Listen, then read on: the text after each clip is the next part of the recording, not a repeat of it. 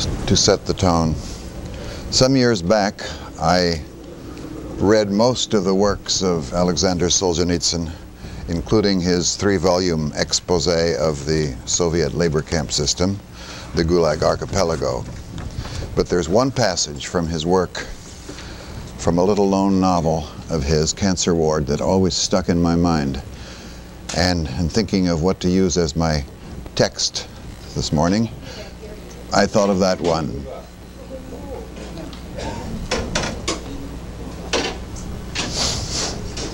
And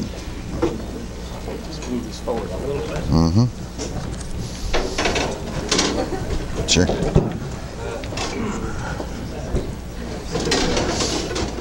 Okay.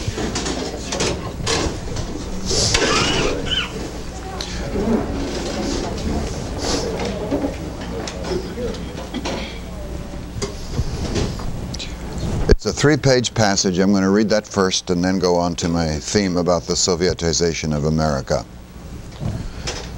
In this three-page passage that I always found memorable, a nurse in a hospital, some unnamed state hospital in Kazakhstan, meets an old man who is a patient, and we take it up from there. An idle conversation from two people who have not met before. Where do you get all those French books? he asked. There's a foreign language library in town, she said. But why always French? The crow's feet around her eyes and her lips revealed her age and the extent of her suffering. They don't hurt you so much, she said. Her voice was never loud, and she enunciated each word softly. Was it because of your husband or because of yourself? She answered at once as straightforwardly as if he were asking her about tonight's duty. It was the whole family, and as for who was punished because of whom, I have no idea. Are you all together now? he asked. No, my daughter's in exile. After the war, we moved here and they arrested my husband for the second time. They took him to the camps. And now you're alone? I have a little boy. He's eight. Which camp? Taishet Station. Again, Oleg nodded. I know, he said. That'll be Camp Lake. He might be up there by the Lena River, but the postal address is Taishet. You've never been there, have you? she asked, unable to restrain her hope. No, I've only heard about it. Everybody bumps into everybody else. His name's Duzharsky, she pursued. You, you didn't meet him? You never met him anywhere? She was still hoping. No, he hadn't met him. You can't meet everybody. He's allowed two letters a year, she said. He nodded. It was the old story. Last year there was only one letter in May. I've heard nothing since then. It doesn't mean anything, he said. Everybody's allowed two letters a year. At Spasik camp, when a prisoner was checking the stoves during the summer, he found a couple of hundred unposted letters in the censor's office stove. They just forgot to burn them. You mean your son was born in exile? He resumed. She nodded.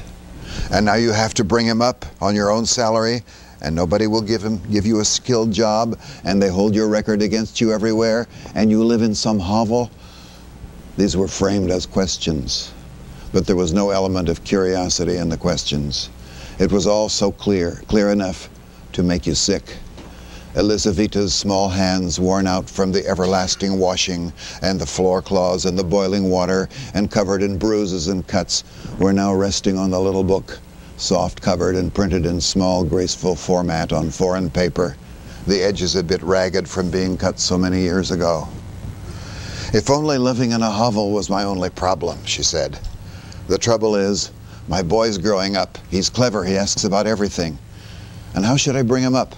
Should I burden him with the whole truth? The truth's enough to sink a grown man, isn't it? It's enough to break your ribs.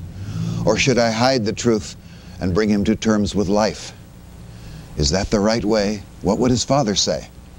And would I succeed? After all, the boy's got eyes of his own, he can see. Burden him with the truth, said Oleg confidently. He spoke as though he had brought up children himself and had never made a slip. She propped up her head, cupping her temples in her hands, which were tucked under her headscarf. She looked at him in alarm.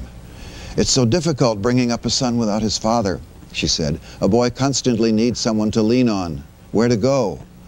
And where is he to get this? I'm always saying the wrong thing. And that's why I read these old French novels, but only during the night duty. I have no idea whether these Frenchmen were keeping silent about more important things or whether the same kind of cruel life as ours was going on outside the world of their books. I have no knowledge of the world, and so I read in peace. Like a drug, he said. Like a blessing, she said, turning her head. It was like a nun's in that white headscarf. I know of no books closer to our life that wouldn't irritate me. Some of them take their readers for fools. Others tell no lies. Our writers take great pride in that achievement. They conduct a deep research into what country lane a great poet traveled along the year 1800 or something, and what lady he was referring to on page so and so. It may not have been an easy task getting all that out, but it was safe. Oh, yes, it was safe.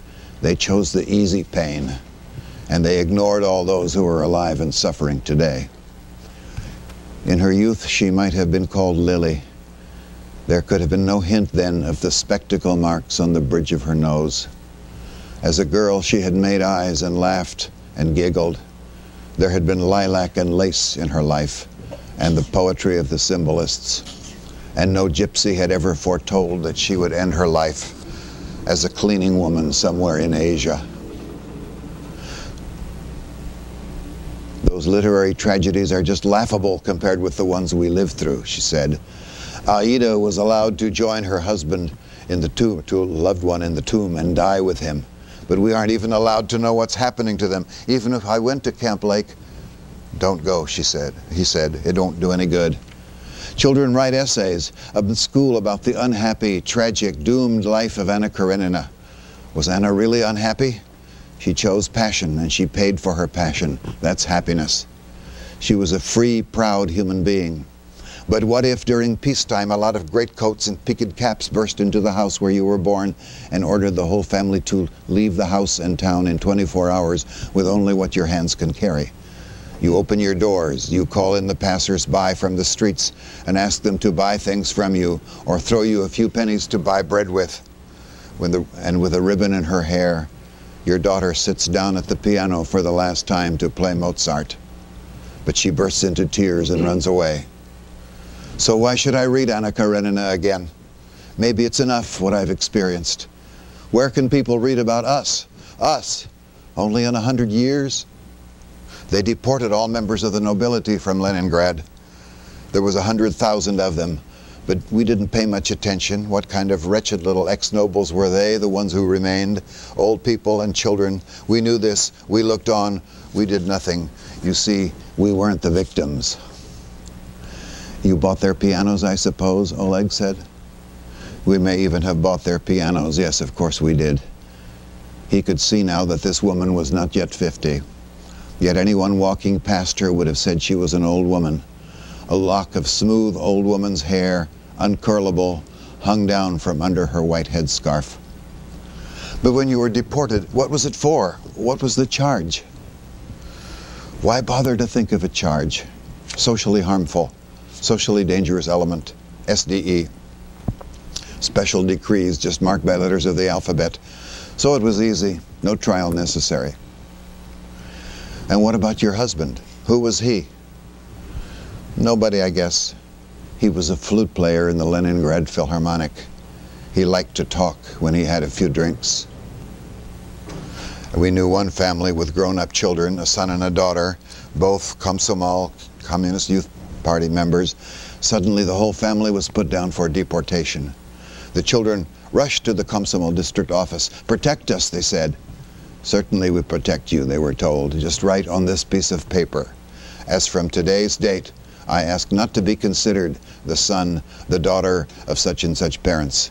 I renounce them as socially harmful elements, and I promise in the future to have nothing whatever to do with them and to maintain no communication with them.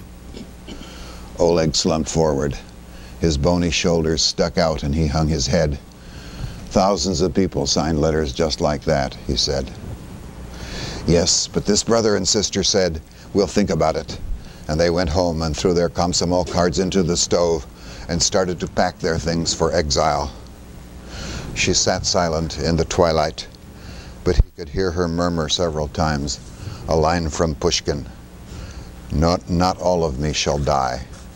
Not all of me shall die. That's the end of the passage. The prolonged agony that was the history of the Soviet Union didn't, of course, stop with the dissolution of the USSR.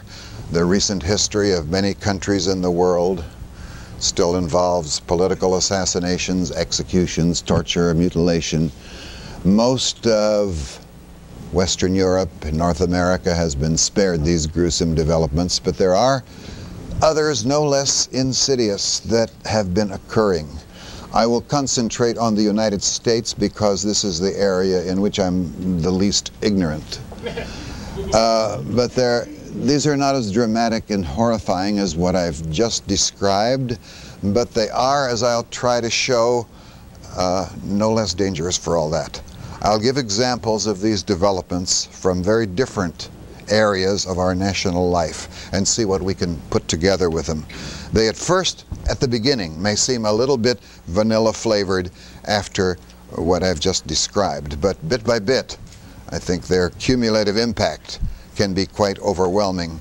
I'll describe a few of them in what time I have and then draw a few conclusions at the end.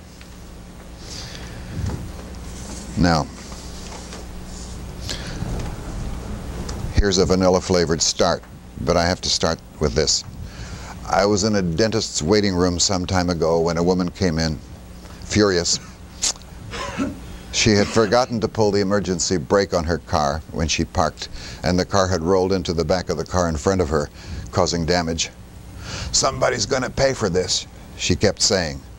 And her whole effort was directed toward determining who was going to do the paying. This, in a nutshell, has become the unuttered motto of many Americans. It's not my fault. I am not responsible. Let somebody else pay for it. And this has been going on. Just a minute or so on a couple of things. If you take a look at uh, uh, Warren Olson's book, The Litigation Explosion, you get thousands of, uh, of examples, but just one or two because I want to save time.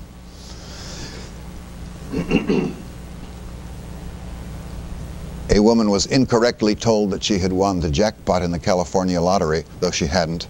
Just for a split second, the ball entered the winning slot, and the jury decided that $3 million was not, uh, uh, was about sufficient to, to, to pay for this momentary discomfort. One woman claimed that she had lost her psychic powers after a CAT scan. she sued the hospital for $2 million. A Washington, D.C. court awarded 5 million in punitive damages against Korean Airlines for letting its airliner be shot down by a Soviet fighter jet plane in 1983. Recently, two teenagers, I don't know why this got to me particularly, in, in a car rental agency in Los Angeles, they sued the agency for charging higher rates to teenagers than to adults because of their safety record. They won. Now the rental agencies are required to rent to all ages at the same price. An employer now faces a lawsuit from victims if he lets a suspected but not proven drug abuser stay in a safety related position, and he faces a lawsuit from the worker if he doesn't let him stay. Or this one a clinic counselor fears an invasion of privacy lawsuit if he tells a client's wife that her husband has AIDS. But he faces a lawsuit for failure to warn if he does not do so. I mean, in most other countries, if you lose the suit, you pay the court expenses. But you, in the United States, you don't do that, so uh, there's virtually no risk if the lawyer takes it on consignment. But now to some of the laws themselves. I want to a little bit on the laws and then go on to regulatory agencies and then draw conclusions from that. The last two issues of the Atlantic Monthly contain a two-part article by Eric Schlosser on the war on drugs. In this case, only one drug, marijuana. Not only are people arrested, their property is forfeited. We libertarians are acquainted with, with that fact. It happens all over the place. Forfeiture of property for uh, suspected drug possession. even if the suspicion is false. The government keeps the property even if the person is innocent of the offense. In some states, it's illegal to be in a room where the marijuana is being smoked, even if you don't smoke any, or if someone uses it on your property even without your knowledge. Two cases, just to dramatize what this situation is. At 38, this is a quotation from the Atlantic Monthly article, September 1994. Mark Young was arrested in his Indianapolis home for the sale of marijuana grown on a nearby farm. He never before had been charged with any crime. He only introduced two people to each other, a possible seller and a possible buyer. There were no confiscated drugs, no physical evidence to link him to the crime. He was convicted on the testimony of those who were cooperating with the government. He was sentenced to life imprisonment without the possibility of parole. He was promised a lighter sentence if he would turn in the names of those who cooperated with him, but he refused. I didn't have anybody to give them, he said. They only wanted a name, and the only name I could give them was that of a fishing buddy, and that guy has nothing. He couldn't even buy half an ounce. But he understands why others revealed names. When you're talking the kind of time that they're passing out, he said, you expect anybody to do what they can to defend themselves. But me, I wouldn't do it any other way though he's now in Leavenworth for the rest of his life with no possibility of parole.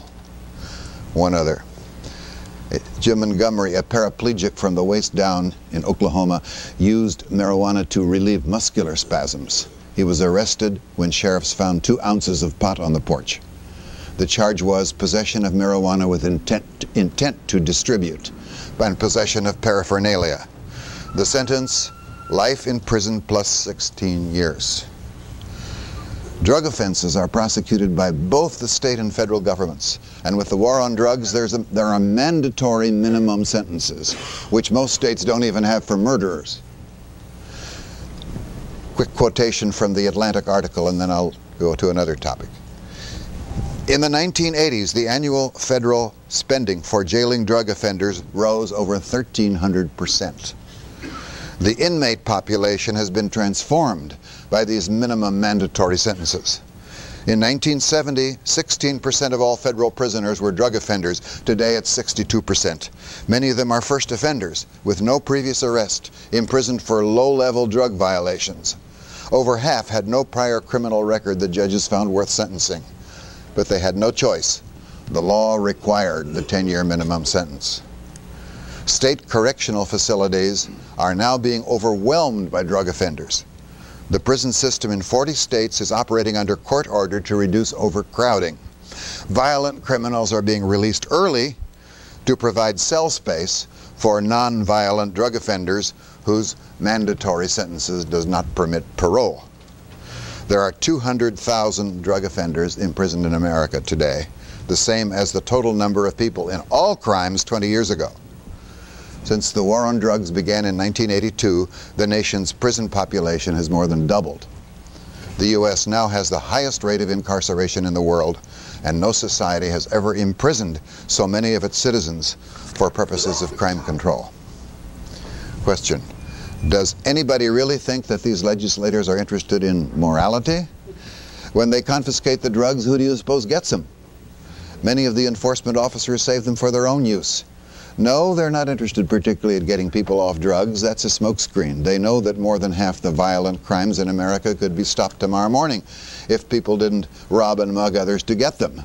The name of the game, of course, is power. Power to arrest, to confiscate, on any pretext. After all, what is conspiracy to possess marijuana? When are you supposed to be guilty of a conspiracy for that? What are the criteria? I don't know of any. What is the law when somebody in your house uh, smokes a joint when you are not even physically present and you go to jail for it? No, the aim is surely to institute a reign of terror so that anybody can be arrested or bankrupted on any pretext at the whim of any agent. As de Tocqueville predicted in 1836, he wrote, the nation, that means America, will become a nation of timid and terrified sheep with the government as the shepherd. That's the aim, that's the intended outcome. Okay, that's just one area. I want to take three or four areas and then draw some conclusions from those. Here's, here's one. the environment. When Bush became president, not only did he initiate the war on drugs, he did something probably even worse. He issued the order that, quote, all existing wetlands, no matter how small, should be preserved, unquote. And then followed a new definition of the word wetlands. The manual was written in secret behind closed doors. And now a land that is dry 350 days of the year can be called a wetland, including most of Nevada, we now call, which they called the Great Wetlands State. The EPA claims that wetland authority extends to every patch of land in the United States. They imposed a huge penalty for placing excavated dirt in a pond. EPA claims jurisdiction over intrastate wetlands because migratory birds might use it as a place to feed or nest as a stopover on the way to the Gulf. This is called the glancing geese test. Geese might glance down and consider stopping at a waterhole and Eh, the geese were on a flight that may cross state lines, and so instantly that becomes interstate commerce. Even one tenth of an acre may fall under federal jurisdiction because of passing birds. This is sometimes called the reasonable bird test.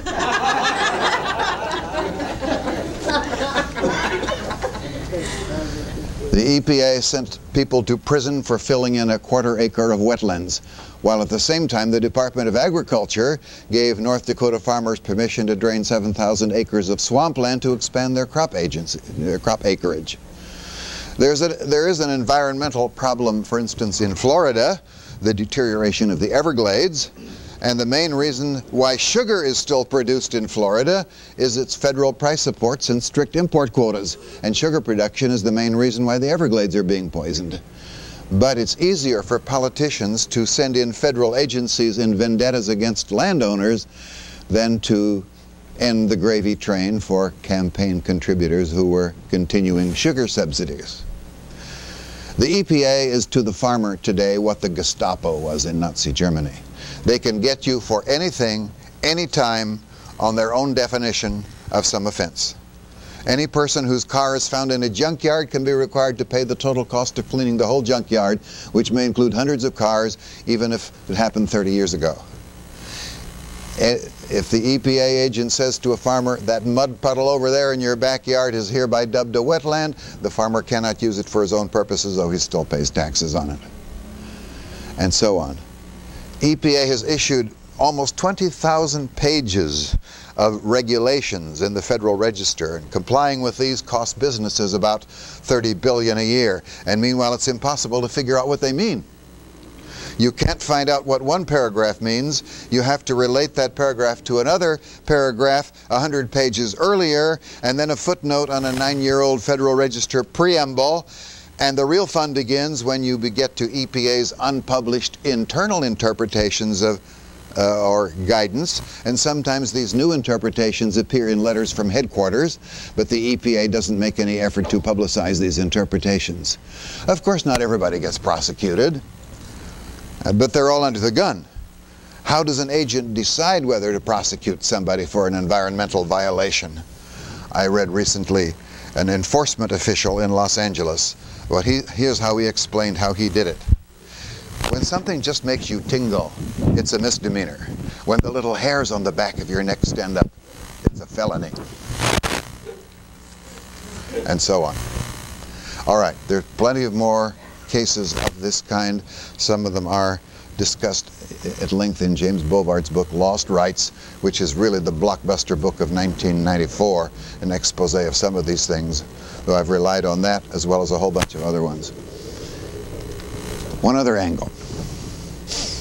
The Equal Protection Clause of the 14th Amendment was followed by the Civil Rights Act of 1964, and it requires that employers have shown no intent to discriminate on grounds of race.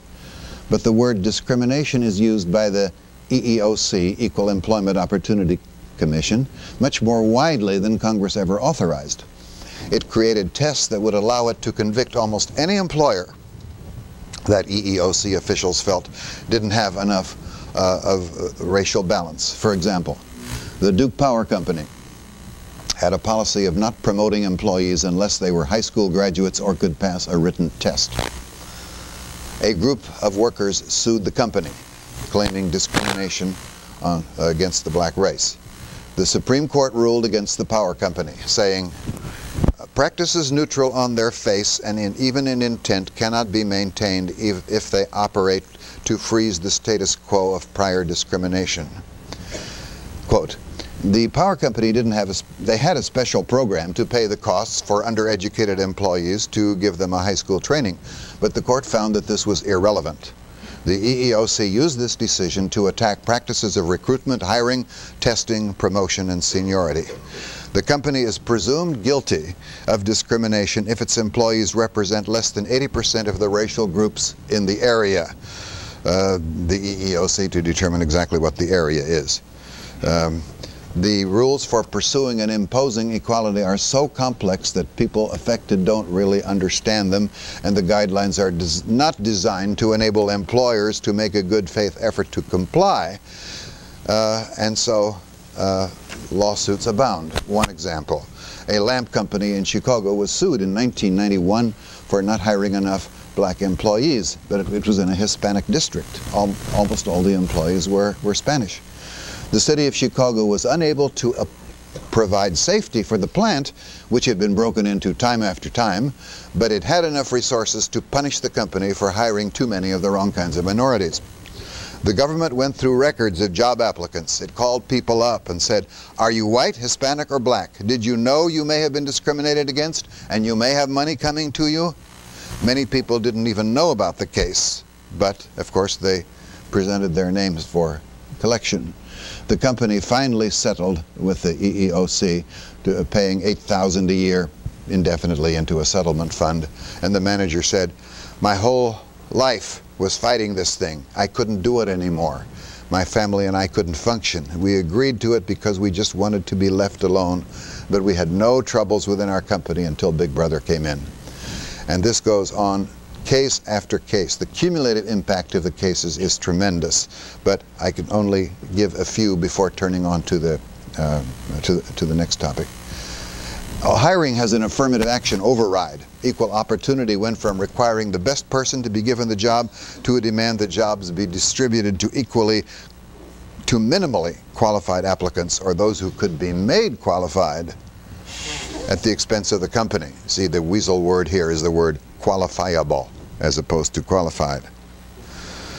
Uh, and any test is considered unfair no matter how job related when racial groups differ in their score averages. So the company is punished for not hiring those who seem to be less intelligent or capable uh, than others. And so we get to race norming, that is the, the government fixes the results of tests, uh, advances some, lowers others, uh, without telling the employer to be that that has been done. So he never knows uh, what the real test score was.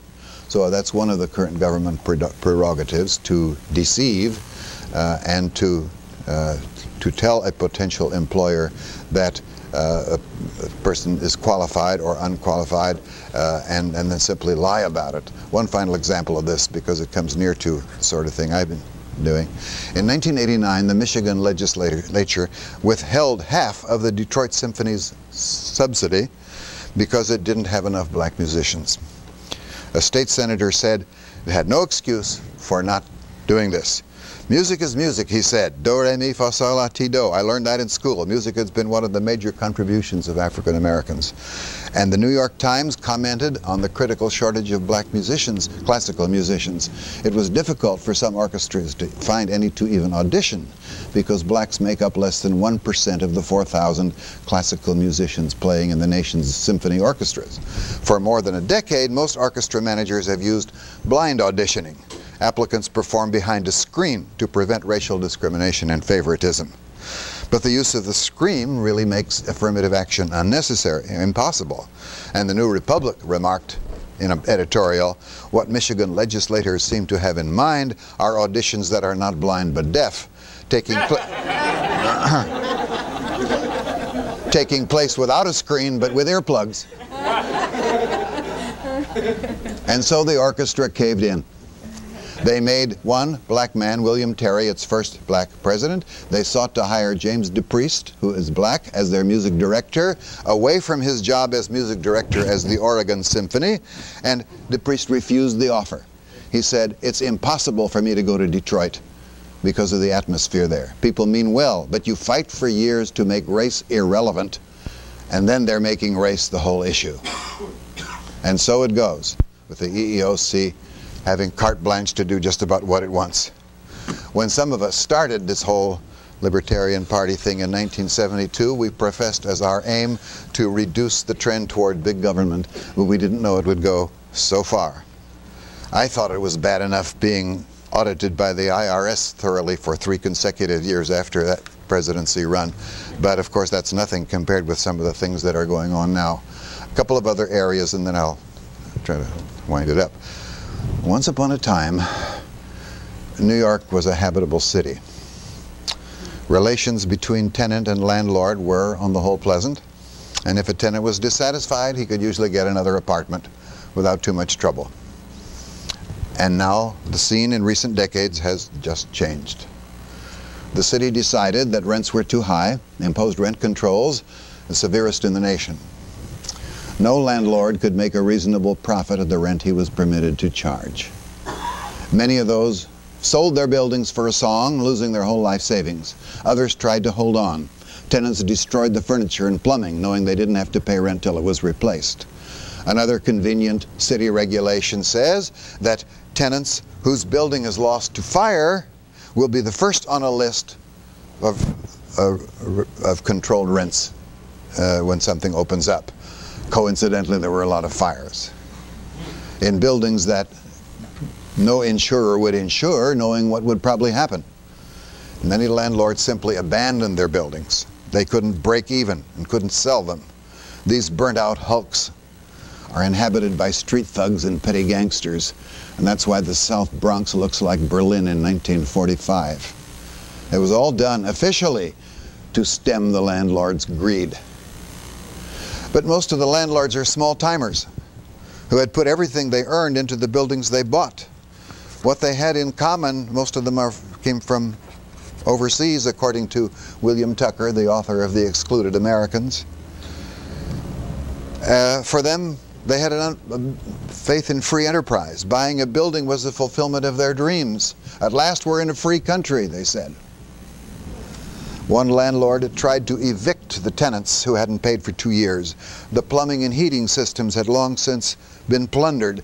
The court sided with the tenants. He'd have to restore service before taking action for non-payment of rent. And by this time, he had spent months sleeping on a friend's couch and borrowed 5000 to have the plumbing reinstalled. The tenants ripped it out again and he installed it again and started sleeping in the kitchen to protect the pipes. And the tenants waited till he left during the day and then plundered them once again. Then he shut down the heat, turned off the electricity, tried to starve them out. The tenants retaliated by building cooking fires and stealing electricity from neighboring buildings. Every time he went to housing court, the court ruled that he still wasn't providing enough services, and so on. Well, it kept on, and when he did finally, why did he persist? I, that is the author of the book, uh, William Tucker's The Excluded Americans, asked. He said, My mother and father had spent their lives working for this. Their lives were wrapped up in this. As it stands now, the building isn't worth 50,000. Fixed up, it would be worth a half a million. I could fill it with good tenants in five minutes. People who could pay rent on time and never give trouble. The city government doesn't want that. They they say they want safe housing, but the first thing they want is to destroy all small owners so that they can take the buildings for themselves. One landlord was a woman who was a Chinese immigrant. One of her tenants was a drug addict on welfare, hadn't paid rent for years, lived with two large dogs. When she asked for the rent, he slashed her tires. When she went to court, he threatened to kill her. She filed a complaint in criminal court for attempted murder, and the criminal court judge says, this is not a criminal case, it's a housing case, and has sent it back to the housing court. The housing court judge reviewed the case and decided to overturn the eviction, and the tenant got to keep the apartment. The firebombing charges were dropped. He's still in the, in, in the building. In 1989, she said she was going back to China. The government has there has offered me the chance to take back my family's old hotel, she said. I think I'll do it. In China, when they want to take your property, they just kill you and get it over with. Here, they torture you first. One landlord said, when the Nazis invaded Vienna in 1938, we at least had a sense of injustice. We knew we were right and they were wrong.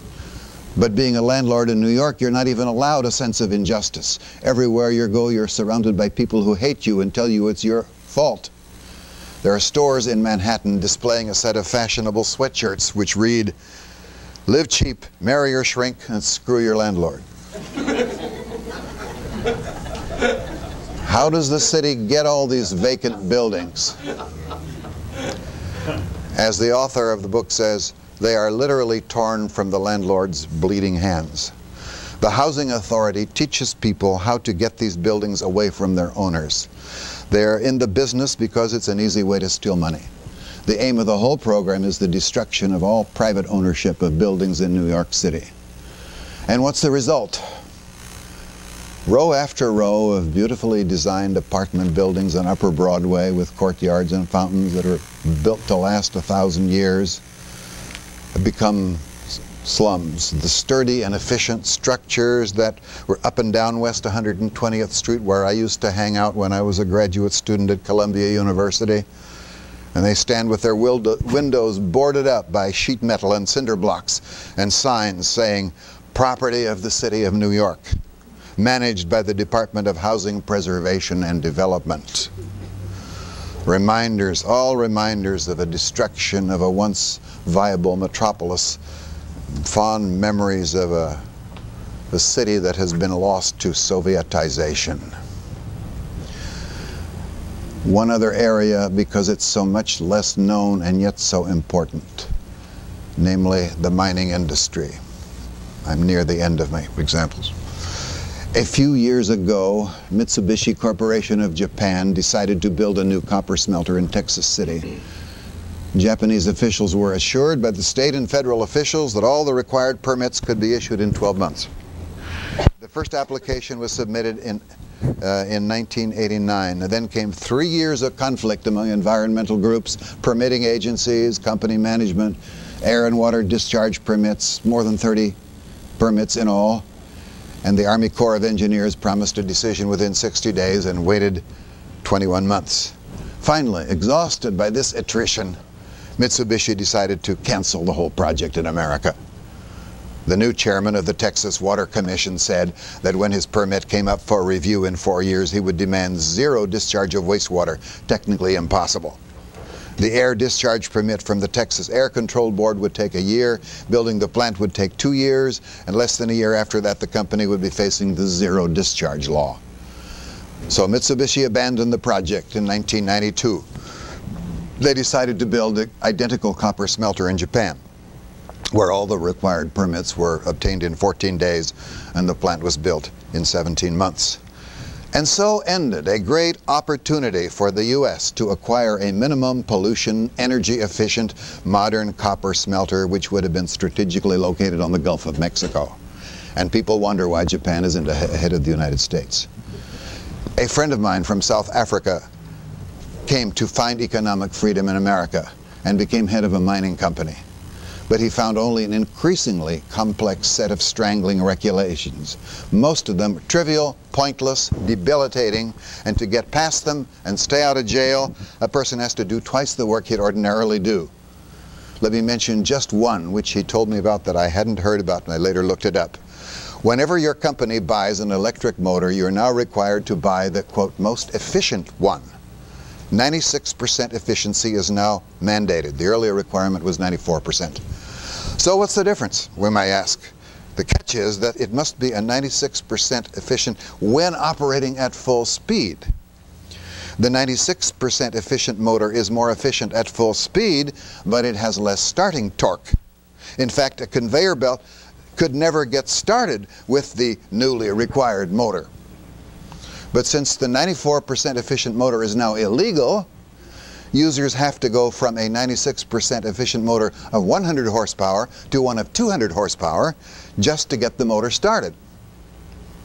The new law doesn't save energy, it requires industry to waste energy. It does its little bit to make the United States non-competitive. It's assisting in the gradual process of deindustrializing America. Is this just a little detail that the regulators were ignorant of?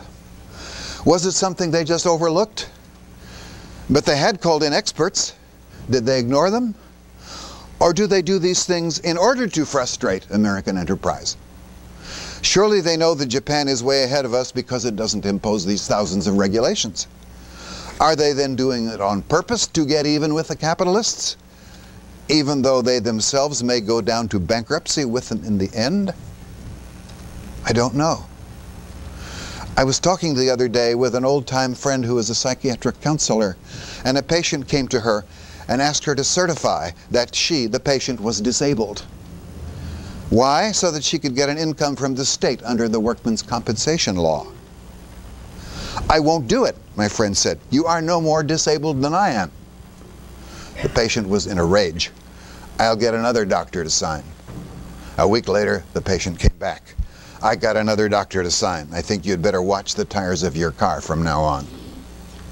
My friend went to her supervising physician. He had signed up the patient. Get on to it, he told her. We all do it. How do you suppose we make our living these days? When, the, when there's talk about government waste on TV programs, which has become recently fashionable, why don't they discuss really big issues like this one? The corruption is so massive, it's a kind of cancer that eats up the whole system. It puts honest people on a treadmill, consuming the fruits of their labor, and one step forward, two steps back, sapping their energy, sapping their industry. Several years ago, the Postal Service was directed by the Department of Defense to develop an electronic card system, which would connect each individual with the Department of Health and Human Services, the U.S. Treasury, the IRS, the FBI, the FDA, and the banking system, and said they would put these cards into our pockets in about two months after the administration okays it. Without the card, you would not be able to own property, receive government benefits, get medical attention, or conduct bank or credit card transactions. And the location of each cardholder could be tracked worldwide by using IC chip and barcode.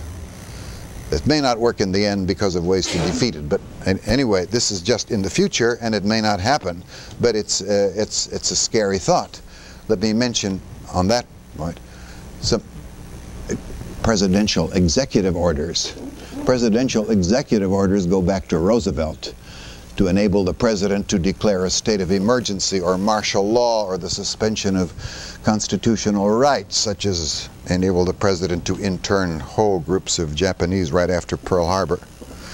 President Carter signed an executive order delegating the power of the country to run the Federal Emergency Management Agency. Now, on June 3, 1994, Clinton signed a new executive order transferring the control of this agency to the National Security Council. Now, some of these just summarize previous orders, but a couple of them are new. I didn't read about them in the headlines, but anyway, here's a couple of them. Executive Order 10995. That's only for presidentially declared national emergencies. All communications media seized by the federal government seizure of all electrical power, fuels, including gasoline and minerals, seizure of all food resources, farms and farm equipment, seizure of all forms of transportation, including cars, seizure of civilians for work under federal supervision, federal takeover of health, education, and welfare, and there's the, the new one that just developed a couple of months ago, housing and finance authority to shift population from one locality to the other. Now, these developments aren't publicized, and most people aren't aware of them, and one doesn't know whether they'll ever come into operation, but there they are in the Federal Register. There's more stuff, even scarier, but since it's not yet uh, sufficiently verified, I just uh, pass this on. The ploy in all this, of course, is not just to put you in a state of abject terror, having to beg the government for favors, but it's also to make you dependent on government. Most middle class Americans now have so much taken from them in taxes and Social Security that they can't make that investment they want to. They can't start that small business that seems promising. They can't hire workers for a business that never comes to exist. The result of that is they won't be able to pay the high medical bills or sustain ourselves in retirement, so we'll be forced to rely on the good graces of government for our survival. And then when Social Security collapses, we'll still be more dependent on government when they call out the troops to quash the rebellion when people see how they've been fleeced. The government diverts the blame, of course, you know this old story, by pointing to the incomes of the rich and trying to arouse our envy.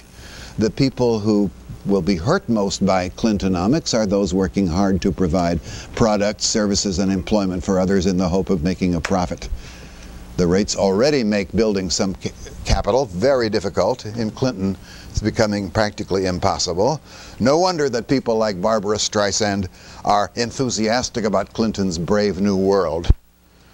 They already have more than they'll ever need, and if the strugglers and strivers of the country are taxed to death, well, it's no skin off their back. Harry Browne wrote this, our, our recent LP presidential candidate for 96. Harry Browne said in a recent newsletter, Quote, the American economy has been strong enough to survive many wounds inflicted by politicians and regulators. But this next stabbing could be fatal because the economy is already bleeding. The death blow comes because the president lives in a world where there are no economic consequences. He believes he can get away with the confiscation because he's always been able to explain away anything and the press has never held him responsible. Why should he worry about consequences? Journalists have criticized his $200 haircut, his waffling, his poor management, his foot dragging, but the one thing they don't criticize is his policies. They accept at face value and repeat faithfully his every assumption about the economy, about the free ride of the rich, about interest rates falling because of his proposals, about $4 in spending cuts for every dollar of tax increases, and about the perfidy of the last 10 years. 12 years. The press has given legitimacy to the inconsistencies, the lies, the absurdities.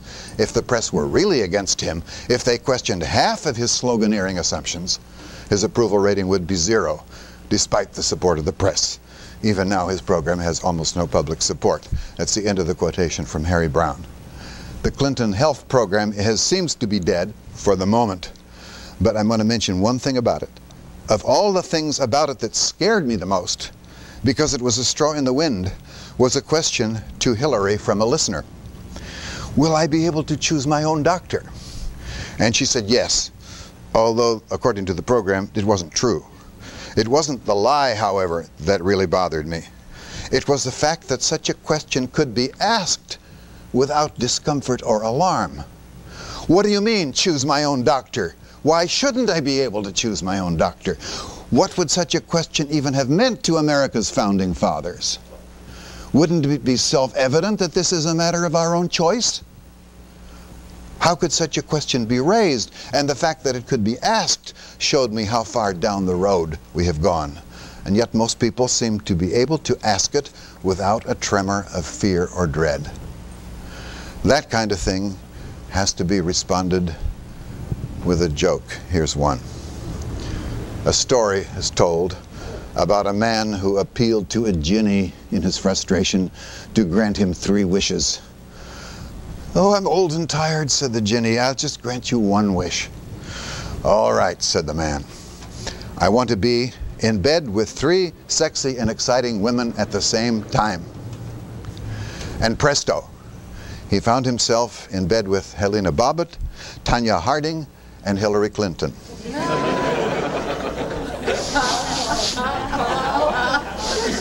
A few minutes later, he found himself without a penis, his knee was throbbing, and he had no health care coverage.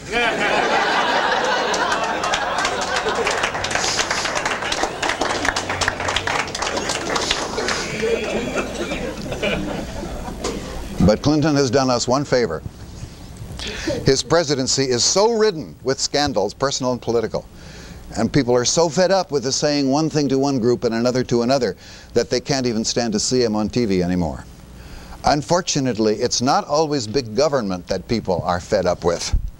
They have seen Primetime Live. They know all about the waste and inefficiencies. But at the same time, they're uncomfortable. They don't want to do without the goodies that they've been promised government by the government, and of course, which they've paid into for a long time. So meanwhile, there's a variety of hard-hitting radio talk shows that expose media bias so well that millions of people no longer trust the media as a source of information. And people don't have it all together yet, however a morality of rebellion and fierce independence is slowly developing in America. It's rising from the ashes of Lyndon Johnson's Great Society, which spent $2 trillion of our money and not brought any alleviation of the poverty it was supposed to abolish. This new morality is very dangerous to the reigning liberal establishment. In fact, it's not really a new one at all. It's a resurrection of the morality of Thomas Paine and Thomas Jefferson, too long buried under the welfare warfare state. It is the morality of self-reliance and individual rights and independence from the state, though many people haven't yet sorted it out and identified it for what it is. Some people even feel guilty about wanting to make governments smaller for fear that if they do, there'll be a lot of people unemployed and in want. And the mood is one of some soul searching. And as I reflect on this, my thoughts go back to a remarkable passage in Mark Twain's Huckleberry Finn, in which Huck engages in intense soul searching about whether to turn in his friend Jim, uh, who was an escaped slave. So I'll read that one page and then I'm almost through. Here's what Huckleberry Finn says to himself. This is self rumination. It hadn't ever come home to me before, but this thing was that, this what I was doing. And now it did, and it stayed with me, and it scorched me more and more.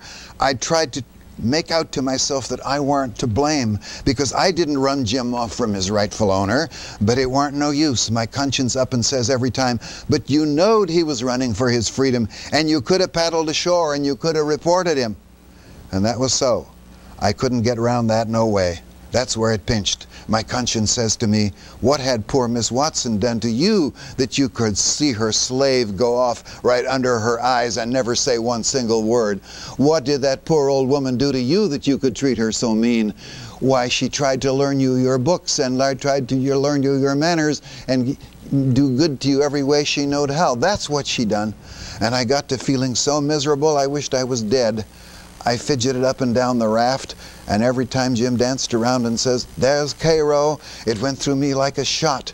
And I thought if it was Cairo, I reckoned I would die of miserableness. I was full of trouble, and I didn't know what to do. And at last I had an idea. I says, I'm going to write the letter and then see if I can pray.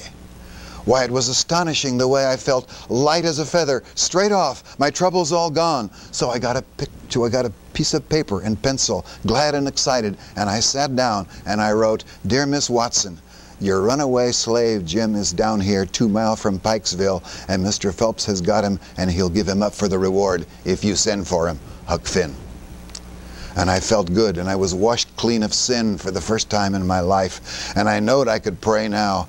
But I didn't do it straight off. I laid the paper down and I sat there thinking, thinking how good it was when all this happened so, and how near I came to being lost and going to hell. And I went on thinking, I got to thinking over our trip down the river, and I see Jim before me all the time, and in the day and in the nighttime, sometimes moonlight, sometimes storms, and we was a floating along, talking and singing and laughing, and somehow I couldn't seem to strike no places to harden me against him but only the other kind. I'd see him standing by taking my watch instead of his and instead of calling me so I could go on sleeping. And I saw how glad he was when I came back out of the fog and when I came in out of the swamp. And he would always do everything he could think of for me and how good he was. And at last I struck the time. I saved him by telling the men we had smallpox aboard. And he was so grateful and said I was the best friend old Jim ever had in the world and the only one he's got now. And then I happened to look around and I saw that paper. It was a close place. I took it up and I held it in my hand. I was a trembling because I'd got to decide forever now between two things. And I knowed it. I studied a minute and sort of held my breath. And then I says to myself, all right then, I'll go to hell. And I tore it up. It was awful thoughts and awful words, but they was said. And I let them stay said and I never thought no more about reforming. I shoved the whole thing out of my head, and I said I would take up wickedness again, which was in my line anyway, being br- brung up to it, and the other wasn't. And for a starter, I'd go to work and steal Jim out of slavery again. And if I could think up anything worse, I would do that too, because as long as I was in it and in it for good, I might as well go the whole hog. End of the quotation. I think.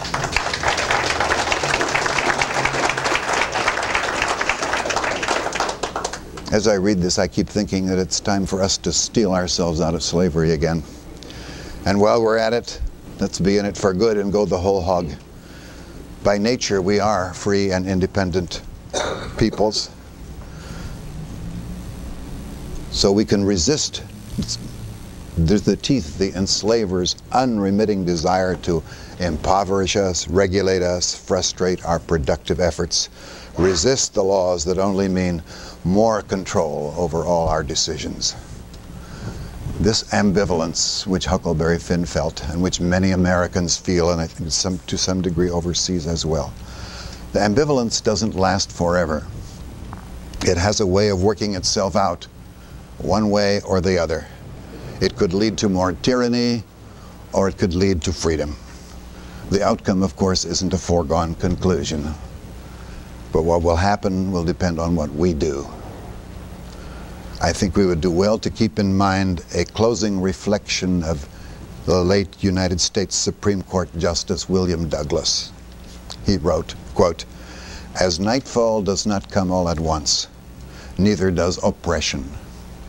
In both instances, there is a twilight where everything remains seemingly unchanged. And it is in such twilight that we all must be aware of changes in the air, however slight, lest we become unwitting victims of the darkness. What we face in this world is the menace of an oncoming darkness. And the darkness is the same, whether it is in a hovel in Kazakhstan, or a prison camp along the Lena River, or a dictatorship imposed by presidential decree.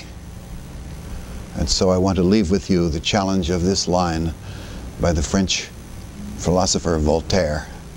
Civilization, said Voltaire, is the swish of silk stockings going up the stairs and the clattering of hobnail boots coming down.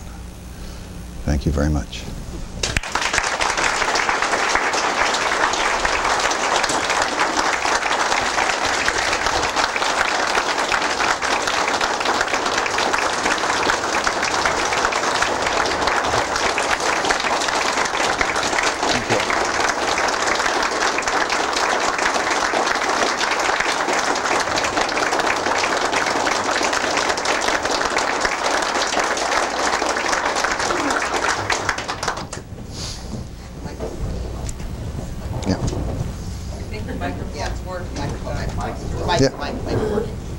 Oh, yeah. Okay, here we are. Yeah.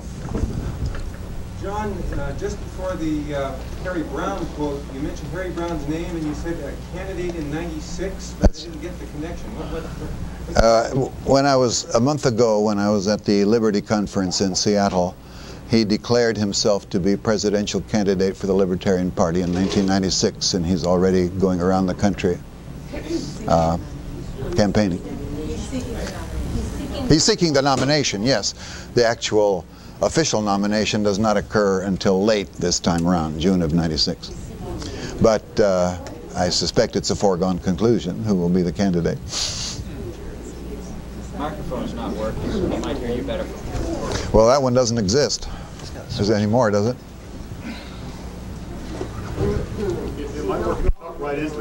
Okay. okay. That's not this dead. This one's dead? But this one's live. Huh. I have a way of killing microphone. Good luck. Is this all right? Working? Okay. Yes. I wondered, uh, in your philosophy classes at USC, do you find that the ideas of liberty are more or less acceptable now among your students than they were, say, 20 years ago when you were a presidential candidate?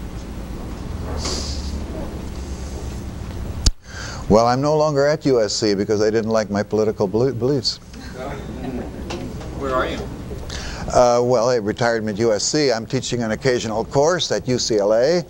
Uh, I taught aesthetics and I'm giving philosophy of law this term, and I'm giving political philosophy next term. So uh, I'm uh, uh, doing that as well as finishing my book on ethics and uh, doing a whole assortment of other things. But uh, you know, USC had the option. Uh, and uh, said, what at the first moment that they legally could, they said, well, we, we uh, he's a far right fanatic. Whatever that meant to them. What about your students? Um, is there a change uh, in their attitude? Well, it's been a couple of years now since I was there. The students at uh, UCLA are very, very friendly, but it may be also a picked audience. I mean, that those who already know about me come to the classes, so it's very difficult to to give any estimate. USC, it's about the same as it always was. Most most students are sort of indifferent to this. There are a few people. There's always a small fraction of dedicated Ayn Rand followers, and some came to USC on the strength of the fact that I was there just the year before I was let out. And uh, um, then there were there's the usual mass of the comparatively indifferent or who just want to uh, follow the the classical definition of a lecture, that which transfers from the notes of the teacher to the notes of the student without having passed through the minds of either one. Uh, yeah. It struck me in listening, in listening to your, your talk that one of the criticisms libertarians get is that there is a certain negativity about the thing, negative about the government, but very positive about society. But it, it, it strikes me that one of the things that you're talking about is what they call cognitive dissonance. That is, that people see the evidence that does not conform to the psychological framework, the zeitgeist that we're holding, and so they deny the evidence rather than change views. I'm wondering if, if what you're, uh, if that's correct, then how we can sort of overcome this, this image of negativity and still break, break through the cognitive dissonance. Yeah, it's certainly customary to say, oh, that can't be true. I mean, it, it, it can't be. I never heard this anywhere else. I never heard it on the media. I didn't read it in the newspapers. You're making it up. Yeah. Uh, well, it's very difficult to, uh, to fight that. Sometimes you can uh, show them evidence and you can bring them around, but most people don't wait around that long. They just go back and watch the television news, and uh, reinforces more, more of what they thought before. Uh, so, you know, there, I don't have any recipes for fighting that. Other, you know, I've found in teaching courses that you can't, you know, you can't do much in a single lecture. I've some, I've often been asked to give a lecture at this place or that place on libertarianism or some aspect of it. I finally gave up doing that because you can't really make much of a dent. What I require to make a real dent and change a student's life forever is a whole course, a semester or a year, when you get some things straight the first day, and then follow it up with getting some things straight the second day, and then discuss some, and finally carry that through a whole term or a whole year until the whole foundations of the student's mind have been somewhat altered. The system of presuppositions is different. But as long as you, they keep on going with the same presuppositions, nothing really ever changes. They get a few slogans, they may uh, have some uh, unfashionable opinions to report, but then high recidivism, they go back. You have to, you have to change their mental structure gradually, and this takes time. All things worthwhile cost, and this sort of thing can't be done in a single uh, in a single day or a single lecture or a single month. Yes. Uh, in your book, which I read about 20 years ago, you made what I thought at that time was a prophetic statement about Eastern Europe, where I'm from originally. Yeah. One of the freedom fighters from Hungary. Yes. Yeah. And uh, uh, things, of course, have changed uh, since you wrote the book. Uh, have you been keeping an eye on the developments there, and what is your latest prophecy about Eastern Europe? Well, I don't have.